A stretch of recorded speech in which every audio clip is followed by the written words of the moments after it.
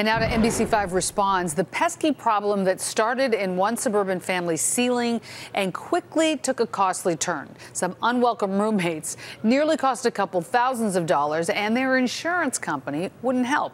Here's Lisa Parker with a surprising reason why. The viewers in this next story say there was no doubt when they heard the telltale scurrying and scratching above their heads inside their home. A contractor then confirmed it. A family of raccoons had indeed moved in. Getting them out would be trickier and more expensive than this family says they would have ever guessed.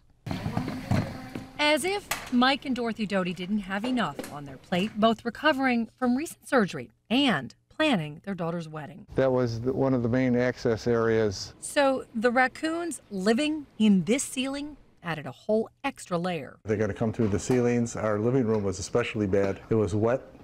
It it's it smelled horribly. A wild situation that took a hopeful turn, Mike says, after a call from his homeowner's insurance, State Farm. It was great relief. You know, we knew we had to cover our deductible. That was in March. Come June, Mike and Dorothy say the insurance giant did a 180. You're not covered, he says, unless you have wild bears or deer in your house. Wild bears and deer covered.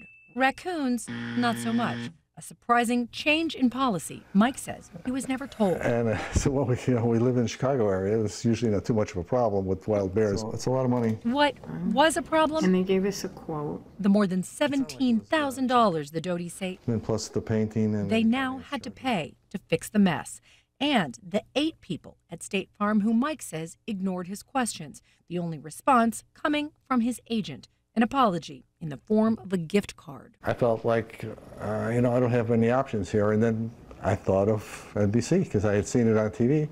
And uh, I sent in your, your uh, application and uh, next day you called. We called State Farm to ask why the family was first told yes, but then no after the work was completed. I've been a customer for 45 years, so there's really nothing you can do. I asked about customer goodwill, and he says we don't have any. I said I can, I can attest to that. But State Farm then reversed course, saying the family would be compensated for the majority of the work just north of $12,000 adding, We are committed to handling each claim with care, and we are open to reviewing and considering any additional information a policyholder may have to help us evaluate their claim during the claims process. The mother and the babies, they would they would be walking across. The tenants in their ceiling now evicted. We expect to be paying thousand dollars, and you know you multiply that by uh, you know 17. It's it's a bit of a shock. Mike and Dorothy say all that money they didn't have to pay will go straight into a much happier expense. How they did it? As expected, Mike and Dorothy say all of that money recovered went right into their daughter's wedding, and just in time, it took place last weekend. Lisa Parker, NBC5, responds.